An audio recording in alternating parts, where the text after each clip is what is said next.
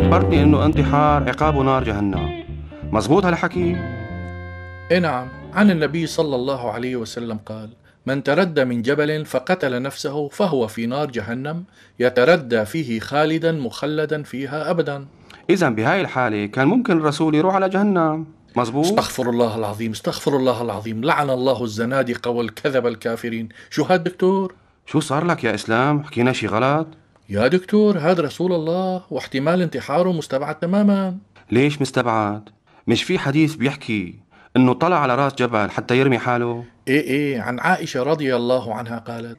وفتر الوحي فترة حتى حزن النبي صلى الله عليه وسلم فيما بلغنا حزنا غدا منه مرارا كي يتردى من رؤوس شواهق الجبال فكلما أوفى بذروة جبل لكي يلقي منه نفسه تبدى له جبريل فقال يا محمد إنك رسول الله حقا.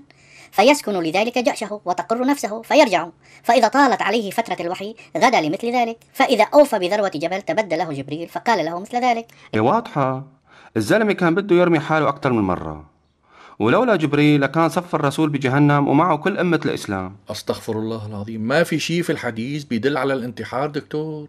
إيوه. معناتها كان عم يتسلق الجبال. عم يمارس رياضة التزلج. مو هيك؟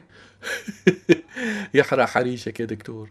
لا ما قلنا هيك ولكن مجرد فكر راودوا بس ما نفذوا يا أخي. مو أنت قلت لي إنه المسلم إذا تمنى الجهاد والاستشهاد بيحسب له إياها الله شهادة حتى لو مات موتة ربه؟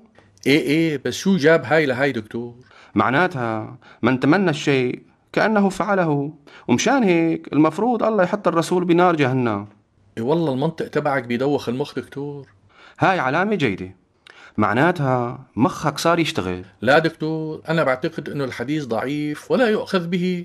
إيه بس الحديث عن عائشة رضي الله عنها. وذكره البخاري. رحمه الله. ومع ذلك ضعيف. أي نعم هذه الزيادة ليست من كلام عائشة رضي الله عنها بل هي من كلام الزهري وهو من التابعين لم يدرك تلك الحادثة. ولم يذكر هو أن أحد من الصحابة حدثه بها وبلاغات الزهري وغيره لا تقبل لأنها مقطوعة الإسناد من أوله فهي كالمعلقات تعريفا وحكما ومجرد وجود مثل هذه البلاغات أو المعلقات في كتاب الإمام البخاري لا يعني أنها صحيحة. حاج يا أخي حاج دوختنا.